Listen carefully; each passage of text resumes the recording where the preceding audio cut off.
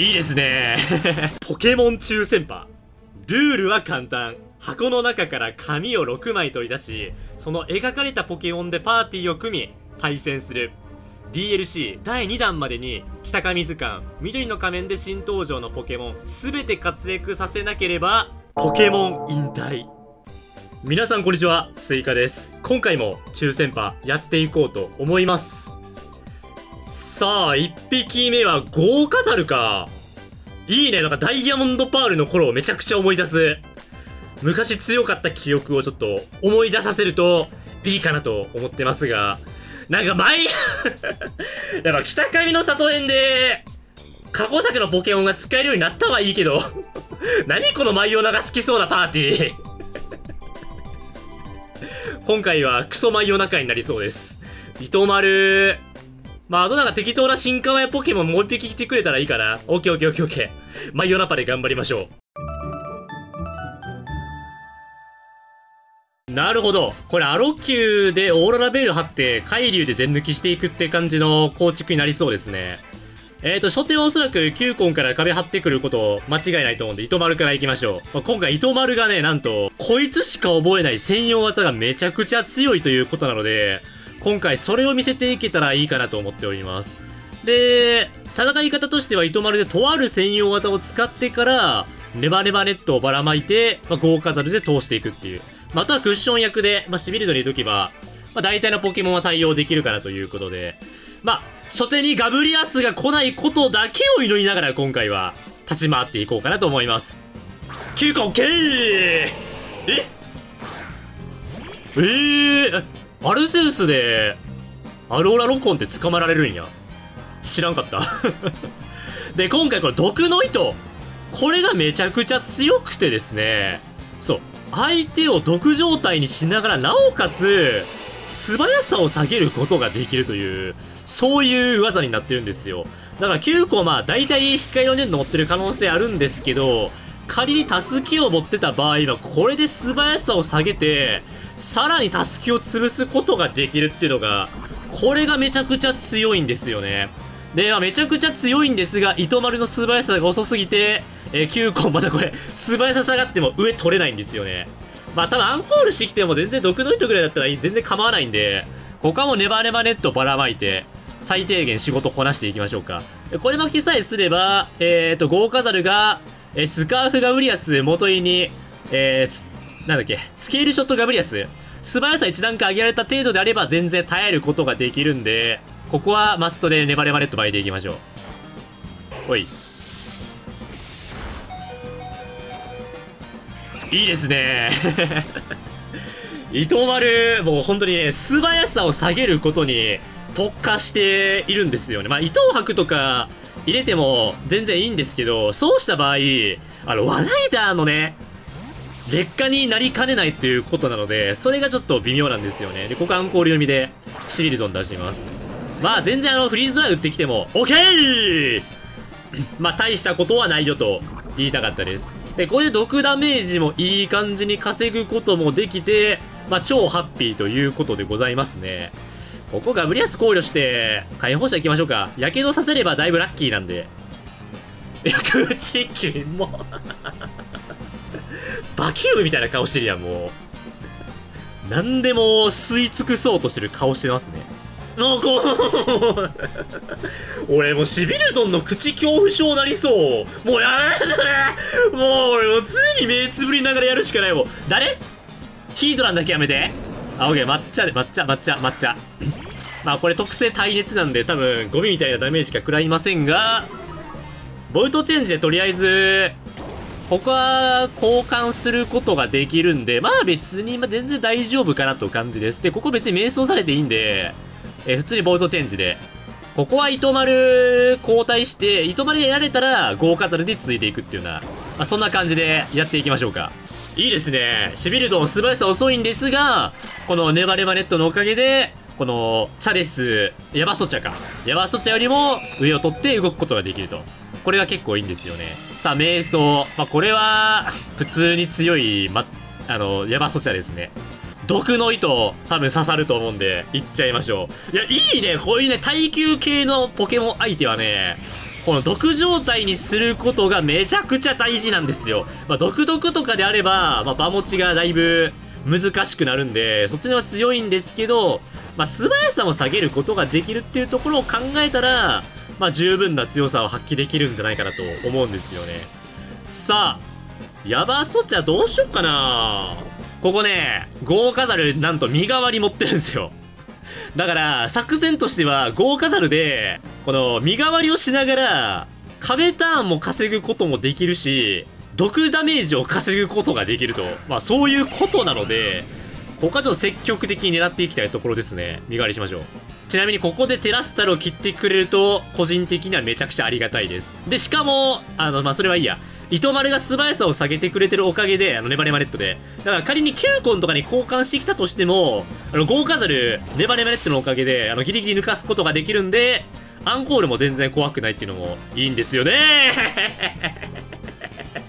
ほな、ヤバソチャさん、起点にさせていただきますわ。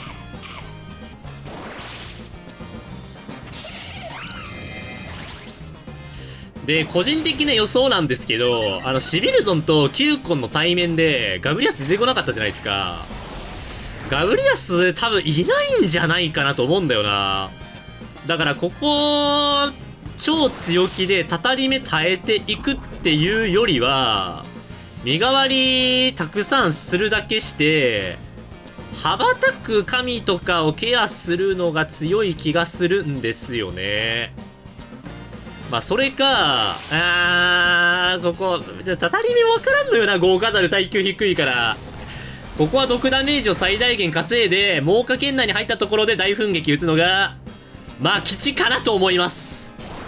あと、もう一つ強いところがあって、あの、豪華ザルね、なんと、この剣舞猛火大噴撃で、丸助海流に対して9割ぐらい削れるんですよ。だから仮にガブリアスいたとしても、乱数で飛ばせる可能性が、まあ、なくはないんで、それでもいいんじゃないかなと思ってるんですよね。さあ、ではこっから、見せていきましょう。ヤバストッチャも、まあ、耐熱込みとはいえ、これからの大噴撃、耐えることはさすがにできないと思うんで、こっからじゃあ、攻めていきましょう。まあ、ちょうど、カムラの実もかじって、猛火圏内にも入ってるということなので、おら、行けなんと、ゴウカザル今作から大噴撃を習得しました。まさか、ヒスイウインディの専用技かと思いきや、このサルさんも使えるようになるなんて、僕もびっくりしてます。主人公、ガブリアスかな?ガブリアス、俺飛ばせると思うんだけどなこの猛火、そして、剣舞2段階上昇している、この火力。やべ、ダイヤモンドパール思い出す。めちゃくちゃ懐かしい、この対面。やべえ、めっちゃ熱いぞ、これ。俺多分ギリギリ飛ばせると思うんだよな主人公ガブリアス今となっては使用率も10位台とかに収まってしまって僕はめちゃくちゃ悲しいよめちゃくちゃ耐えてるわでスケールショットの餌にされてしまうっていうまあまあまあまあまあまあいいでしょうえー、でも俺スケショガブリアスってどうなんだろうなスケショガブリアスの持ち物がマジでわからんイカサマダイスならほぼ負けやなイカサマダイスはやばいけど、そうじゃなかったら、まだこれ2回で止まる程度であれば全然チャンスあるんですよね。だから、ここね、いやー、火炎放射耐えるよなここは草結び打つしかないかなえっ、とね、僕、草結び検定3級なんで知ってるんですけど、ガブリアスはね、そこそこ体重あると思うんで、威力80ぐらいは出るんじゃないかなと思ってます。だから、まあさすがにこの HP であれば、最悪倒せるんじゃないかな。スケールショットも多分2回ぐらいで収まれば、キューコンとのタイマンはまだギリギリやれるんじゃないかなと思ってます。え、うまー いや、だこれなんすわな、やっぱり。あの、スケールショット、確かに今の環境素早さ上げることは間違いなく強いには変わりないけど、結局ね、不安定なんですよね。つららばりと違って、命中90は実質命中50ですから、もう僕がね、この、中戦波で、命中不安定技たくさん使ってるから知ってる。あの流星群よりも大文字の方が体感当たる で流星群よりもハイドロポンプのが体感当たるし電磁波も全然当たりません。なので命中90はゴミです。一番信用してはいけない命中率。本当にもうこれだけは言いたい。マジで言いたい。マジで命中ゴミだからね。ちなみに皆さんアローラ9個のテラスタル何だと思います？僕は水テラスタルだと思って放電を売ってます。というのもキューコンって鋼タイプ4倍弱点なんで、ハッサムとかに結構やばいんですよ。で、オーロラベール貼られる前にバレパンでやられるのは結構リスク高くて、それ考えるんであれば、まあ、水半減、こう、鋼半減で受けれる、個人的には、あー、テラスト汚いんだ。まあ、その辺があり得るんじゃないかなと思うんですよね。まあ、ここはもう地面テラスタルケアして、草結びでいいか。まあ、これは別にアンコールされても、まあ、勝ちだし。まあ、ということで、ありがとうございました。なんかこの感じだとスケールショット2発ぐらいまでだったら全然耐えれてそうでしたね。まあそういうわけで、ありがとうございました。おー、めちゃくちゃ強そうなパーティー来ましたね。ユーマ。いい名前じゃないか。えーと、今回は、ちょっと新構えポケモンたちが活躍できそうにないので、これはちょっとスワンナさん、頑張ってもらうしかないかな。今回、このスワンナ、まあ多分誰も使わないと思うんで、僕がちょうどいい機会なんで救ってやろうと思います。で、今回も最終的に猿で詰めれば、まあなんとなく勝てると思ってて、豪華猿、まあ剣舞プラス猛火圏内まで入れておけば、あと海流対バンでやり合うことできるんで、爪としては豪華猿。で、カバルドンとかの大雑把な処理をスワンナとシビルドンに頑張ってもらうっていうような感じでやってみようかなと思います。なんか最近、ディンルーよりもカバルドンよく見るけど、何また、環境操作してる？ゲーム実況者の人たち。ディンルーと違って、カバルドンは、あくびも使えるし、しかも、吹き飛ばし対策されがちやけど、吠えるにしておけば、あのホラ草に TOD されなくて強いぞみたいな。そういうこと？わからんけど。えーと、スワンナなんとね、スカーフ持たせなくてもミミッキよりも2高いんですよね。そう。ウーラオスよりも1高い出力値持ってるんで、それが結構優秀なんですよ。で、えー、ここはもう上の間違いなく取れてるんで、ブレバブレバで、えー、ミミッキは処理していく感じでいこうと思います。で、また不利な相手が来てしまった場合は、こいつクイックターンも使えるんで、攻撃しながら逃げることもできてしまうということで、それもまた結構優秀なんですよね。鳥耳か。まあなんかガチグマいそうですね。まあ、ガチグマは嫌ですけど、とりあえずシビルドンで対応しておけば OK な気がするんで、ここは多分ジャレか呪いか交換。呪い、あ、まあ交換かな？呪いか。オッケーオッケー。まあこれは水技ケアでしょうね。で、呪いでダメージ入れられてますが、ここはもう、ガチグマ交換読みで、バチバチ強気にここ草結びとか。あ、僕草結び検定5級なんで知ってるんですけど、まあ、ガチグマは結構体重が重たいんでね、草結びはめちゃくちゃ威力入りますし、あとミミッキがめちゃくちゃすっからかんに軽いんで、これね、全然耐えれると思います。うおーいいね挑発は全然してくれて構わないよ。さあ、挑発、いいですよ。まあ、呪いでダメージちまちま入れられるのも嫌ですが、これで草結びを見せたことによって、相手はもう下手なことできないと思うんですよね、ここ。じゃあ、草結びもうちょっと連打しようかな、ここ。オッケーオッケーオッケー。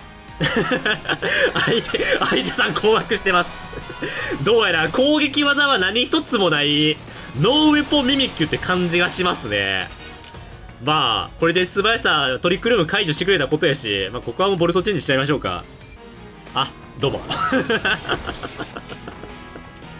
まあ、こんな感じで、もしトリックルームされて、ああ、ちょっとアタッカー組んだやばいなと思ったら、もう皆さん、あの弱点をついて、積極的に叩き込むことをお勧めします。そうすれば、こんな感じで相手も飛行にも引けないような環境を作りやすくできるんでね。デラシャン。デラシャンもこれね。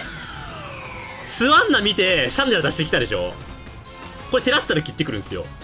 でえシャンデラって何テラスタルなんやろな。まあ何テラスタルでも別にうまいから全然いいですけどね。お切ってきましたね。もらい火とかやったら、虫とか草テラストとかにしたりするのかな。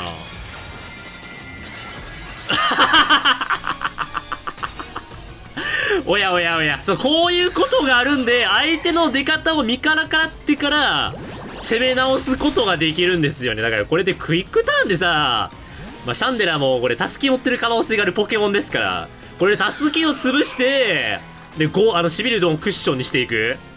まあ、これができるっていうのが、まあ、強いんですよね。で、ここはま、猿出したいところではあるんですけど、あのー、わざわざ草テラスタルにしてるってことは、まあ、可能性として、もらい火の可能性が結構濃厚なので、ここはもうおとなしく、座んない行きましょう。で、相手がここで仮に交換してきたとしても、ブレーバーで結構圧をかけることができるんで、僕としてはまあ悪くはないんじゃないかなという判断です。綺麗だね。え、今回めちゃくちゃ綺麗に詰めてんな。やっぱり、なんか最終進化ポケモンで固めたサイクルパーティー、楽しいですね。まあ、僕は今回、豪華ザルで全抜きするっていう構築にしてますが、えこんな感じで、サイクルをしながら、まあ、勝つことも一応、できるよということも、ちょっと伝えたかった。いや、硬すぎやろ、こいつ。ねえこのクマ硬すぎるマジで。なんかこんだけ硬いとさ豪華ザルのインファイト平気で耐えてきそうだけどダメ系するね一応。不安でいっぱいだわ。どうやらインファイトで倒せるみたいです。HP ぶりのガチグマであればだいたい67割ぐらいで HP 削れて倒せるらしいので。いや豪華ザルのタイプ1インファイトをさなんで HP3 割近く残した状態で耐えれんねん。こいつ頭おかしいやろして ねえパルティアの新規ポケモンたちさちょっと鈴フッチやりすぎじゃない？俺毎回毎回思うねんけどさ。まあなんか新作出るたびに強いポケモン出すのはまあいいとは思うねんけどさすがに数が多すぎる気がする。豪華ザルが泣いてます。アーボックの浮き具合やばすぎでしょ、これえー、俺のパーティー全体的にパーティー力低いからこれワンチャンアーボック初手から来そうだな。アーボックでしょ？まあ大体なんかヘビニラミとか、規定作成してくるイメージがめちゃくちゃ強いから、まあ多分初手から来るよね。ここ初手シビルドンから。で、あとは、どっかの好きで雪わらしでちょっと起点作成したいなと思ってて、雪わらしで起点整えさえすればそっから豪華ザルで詰めて戦っていこうかなと思います。お願いします。肩パッド。あーやばい。あの、秘宝です。皆さん、このドラパルトがドラゴンテラストルしてきたら負けです。いやー、きついよーあ、よかった。壁張りドラパならいいや。あの、僕のパーティー、あの、ドラゴンテラスタル鉢巻きドラバルトで全然3立てされるから、ここで、ここで、相手の肩が割れるのはめちゃくちゃでかい。そして安定のこの口ね。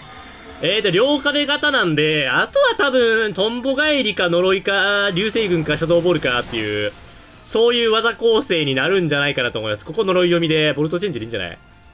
雪嵐直引きでもいいけど、まあ、ここはボルトチェンジでいいでしょう。シャドーボール、オッケーさあ、突撃直帰なので、安定して耐えることができます。で、こっから雪わらしを着地させていくわけですが、どうしようかな巻きびし、うん、壁でもいいよなじゃ、巻きびしの方がいいかなさあ、防御が上がります。いやー、特防下がんのわかんなちょっと。それはちょっと耐えれるか結構微妙なんで、もう一回下げます。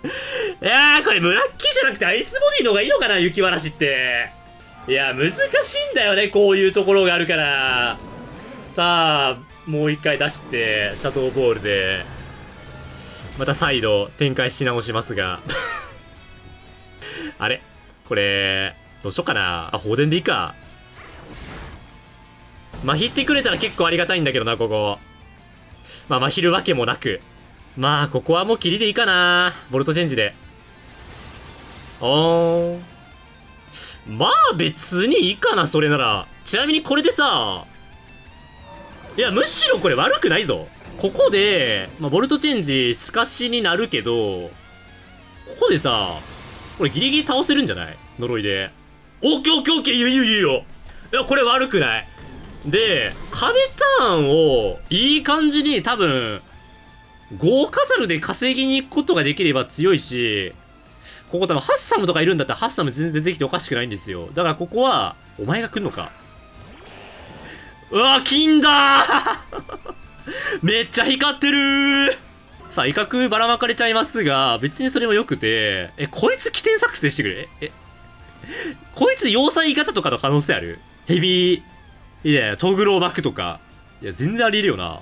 え、トグロ巻いてくんのかな、ここ。これ、もしトグロ巻き型だったら、ここ雪嵐に交換するのめちゃくちゃ悪手なんですよ。身代わりで様子見だな。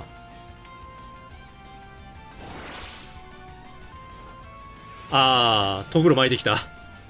トグロ巻いてきて、まあ、ここは剣舞でいいでしょう。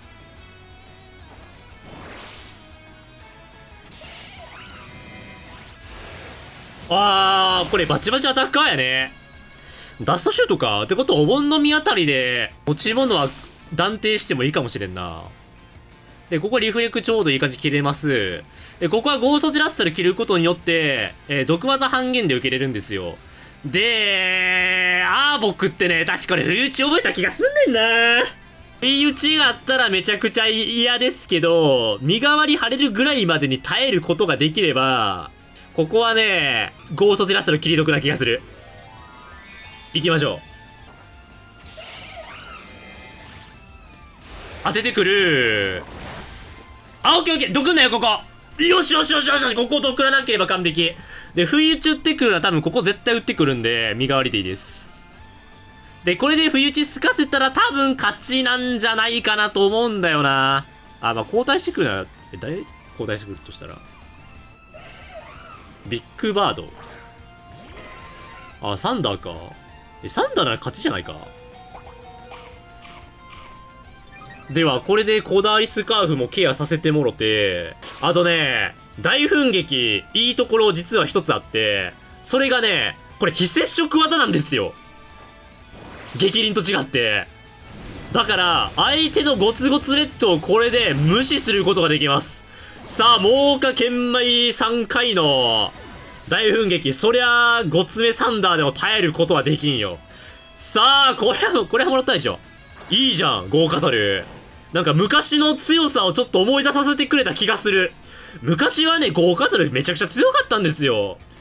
で、ダイヤモンドパールの頃は豪華ザルめちゃくちゃ強くて、みんな使ってたんですけど、それっきりですね。よかった。